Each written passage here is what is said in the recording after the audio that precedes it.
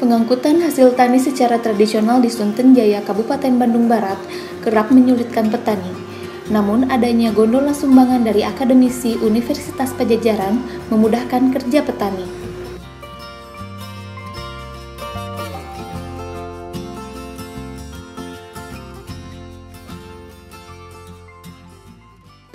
Sebagai bentuk terima kasih, gondola itu dinamai Sasak Gantung Pajajaran.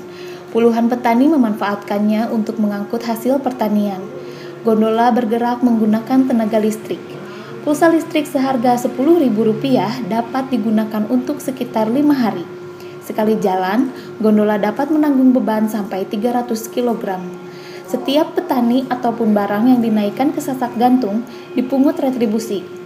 Hasil iuran itu lalu digunakan membiayai operasional dan perawatan.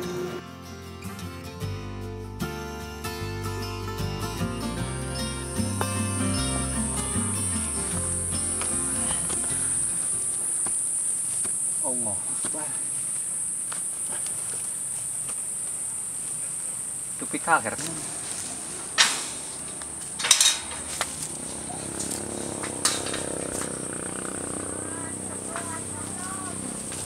naikkan karung kieu mah wah kudu bari ngadat.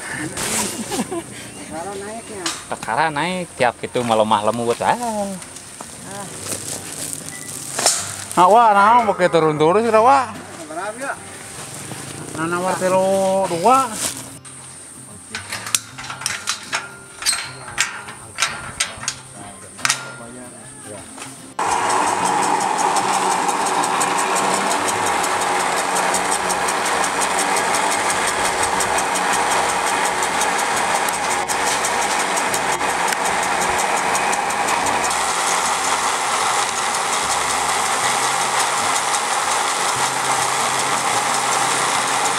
Manfaat Kang dari menggunakan jasa ini? manfaat yang pertama eh, mengurangi beban tenaga. Yang kedua mengurangi biaya juga biaya operasionalnya.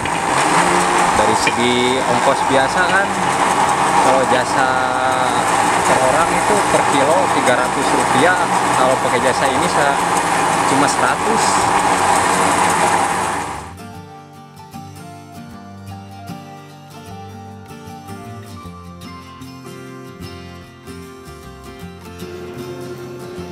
Gondola itu kadang dimanfaatkan untuk sarana wisata. Di samping bermodalkan panorama alam yang indah, di sekitar Kampung Ganok pun terdapat situs budaya dan air terjun.